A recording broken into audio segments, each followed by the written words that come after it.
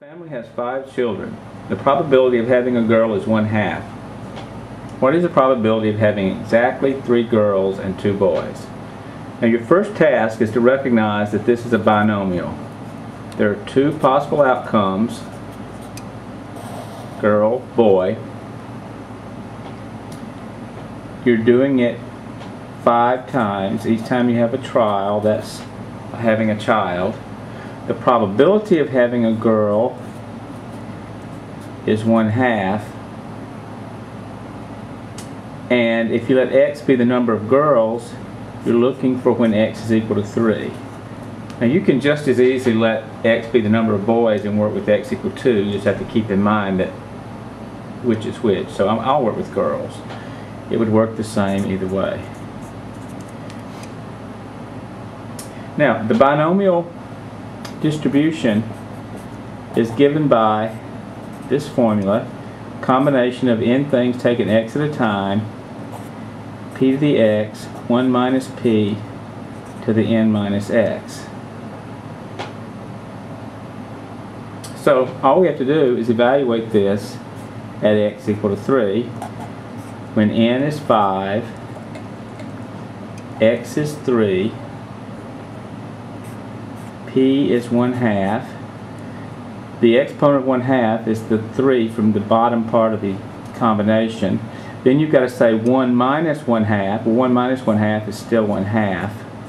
And then you say 5 minus 3 and you get 2. In other words, the exponents, 3 and 2, always add up to the top number in the combination. And now we have to do that calculation. Well, that's easy enough. That's 5 factorial. I hope you've practiced this enough that this is second nature by now. Over 3 factorial times 2 factorial.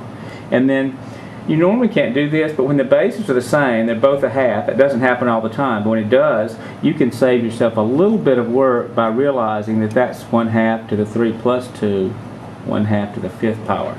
You don't have to notice that, but it certainly makes life easier. Now, if you calculate this on the calculator, and I'll show you how. Now there are numerous ways of doing this, but the way that I would calculate uh, a combination of five things taken two at a time is this. That's 5 factorial over the product of 3 factorial and 2 factorial. So what I would do is I would calculate 5 and then go over and hit the n factorial button. That tells you that 5 factorial is 120.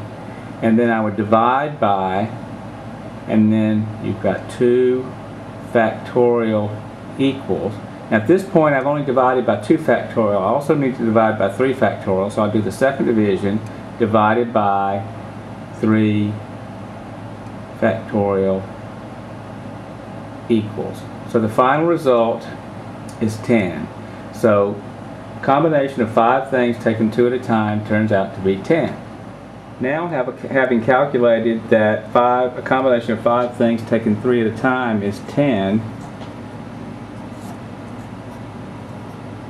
I'm left with having to multiply 10 by the quantity 1 half to the fifth. At this point I can go back to my calculator again and do 1 half to the fifth and then multiply that result by 10.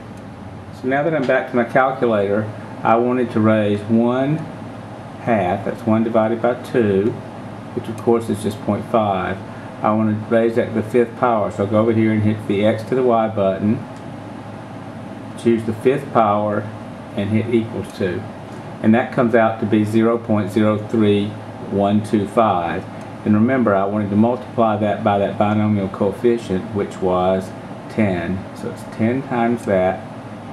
And I end up with 0.3125 if I'm carrying it to four decimal places. If they wanted it just three decimal places, of course, I could round that to 0.313. But if I'm going to take it to three decimal places, I would get 0.3125.